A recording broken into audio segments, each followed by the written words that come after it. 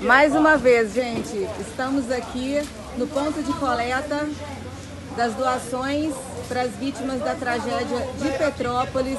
E olha que alegria, gente. Ah, estão carregando os caminhões, muitas doações.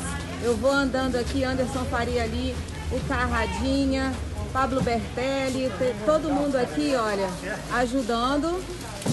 Deixa eu chegar para cá.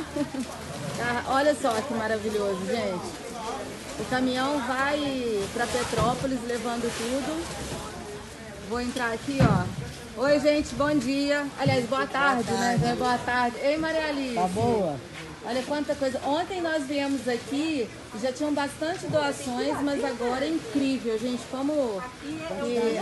Tá é, a Maria Alice está aqui. Dá um oizinho para nós aqui, Maria bom? Alice. Oi, gente. Vamos ajudar. Muita gente ajudando. E assim, a diferença que fez de ontem quando eu estive aqui para hoje é enorme.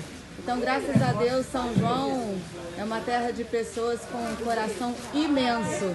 E daqui a pouquinho, esse caminhão, esse caminhão está abastecido.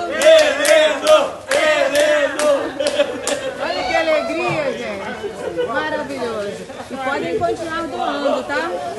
Aqui, ó, caixas de leite, tudo que é tipo de doação que nós pedimos, que todos pediram e todo mundo abraçou a causa. Gente, cobertor, olha aqui que beleza.